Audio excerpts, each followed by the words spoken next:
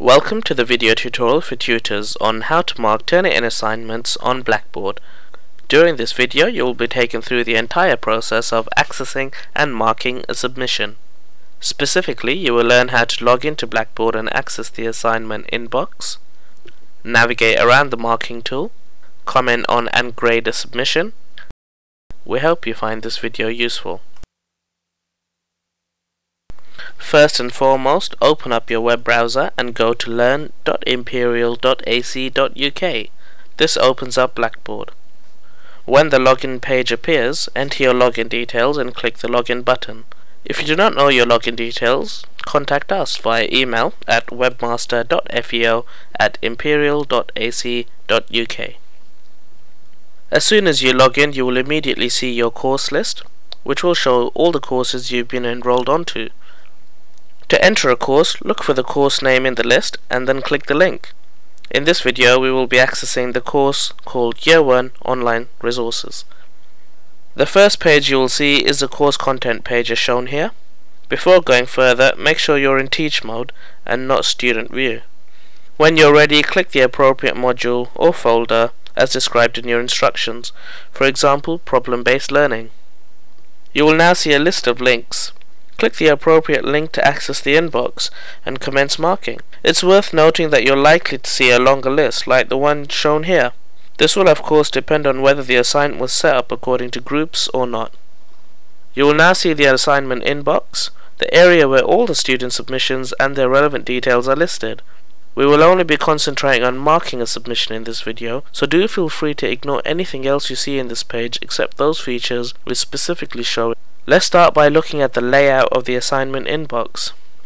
Remember at any time you can sort any of these lists shown by clicking on the headings.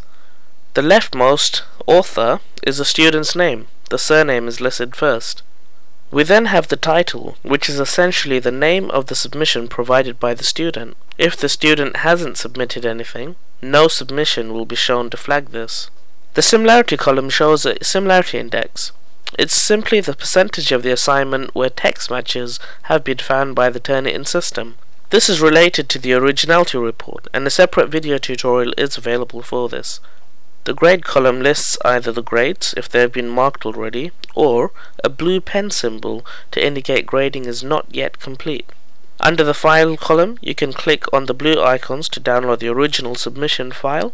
And finally, the date column shows the date of submission. If nothing has been submitted, late is shown in red. If the submission was made after the due date, the date appears in red. You could use the scroll bar to scroll through the entire list if you do have many submissions. First, we'll need to open up the marking tool. Let's begin by clicking the blue pen symbol under the grade column for a particular student. The marking tool window will open. It is referred to as GradeMark and allows you to directly comment on and grade all submissions. As before, we will only be concentrating on marking a submission in this video, so do feel free to ignore anything else you see on this page, except those features we specifically show. Let's start by looking at the layout of the GradeMark tool. From the top left corner you may access the originality report. Please note that a separate video tutorial is available for this. Here you can see the title of the submission as provided by the student and the name of the student just beneath the title. Over in the top right corner you can see the similarity index on the left and the overall submission grade on the right. This submission has not been marked yet. You can see the actual submission taking up the main part of the window and on the side you will see the scroll bar to move up and down the submission. In the bottom left corner you may click to view information about the submission. As you can see, you will be able to find various useful information, such as the exact date and time of submission, word count, count by the system, and whether grades and comments have been given. Just to the right of the info icon, you will see two icons that allow you to download the full GradeMark report for saving or printing purposes. This report includes the full assignment, all comments, and full marking details. Do note that a separate pop-up window opens when this is clicked with further instructions. You may also zoom in and out of the submission by dragging the circle to the left or right of the zoom scroll bar. As a marking tutor, you can provide annotated comments, general feedback, and can also score the submission. But remember, once the grade and feedback are released to the student, they will be able to see everything you've typed. let's go through the various marking areas in this tool.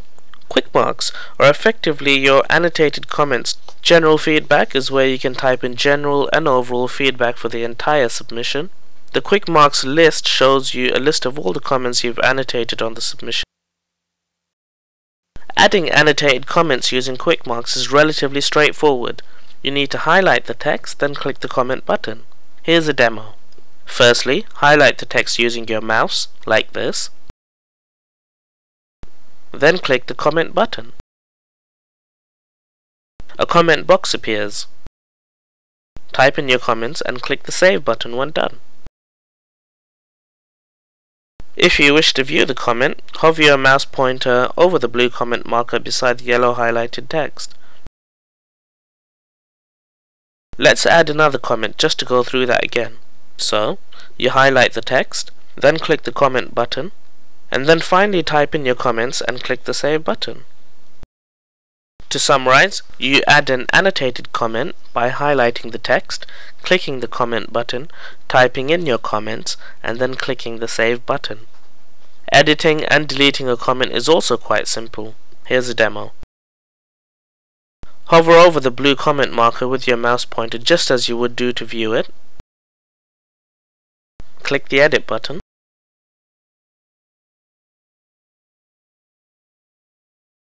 Edit the text and then click the save button. And to delete it, just click the bin icon in the top right corner of the comment box. Okay, so we've used the comment button to add in annotations. So what are all these buttons then? Well these are all quick marks, just like the comment button. You do not have to use these. They are just templates for more specific comments, for example improper citation or spelling errors. If you do mark often, then you may wish to use these, but again you do not have to. Okay, let's go and give the submission some general comments. Click the general comments button. To add comments, click the edit button and type your comments in the space provided. Once you're done, click the save button. Editing or removing comments is exactly the same. Click edit, type or change your comments and click the save button.